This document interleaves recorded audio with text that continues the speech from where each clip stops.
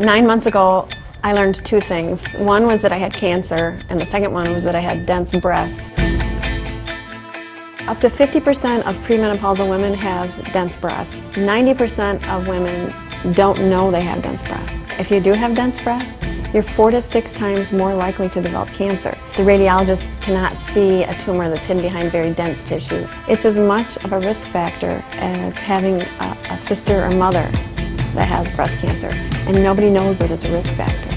What you want is something in writing that explains to you what your mammogram showed, and it should include your density, and it should include your BI-RADS score, because that's what you need to discuss with your doctor about whether or not you should have additional screening.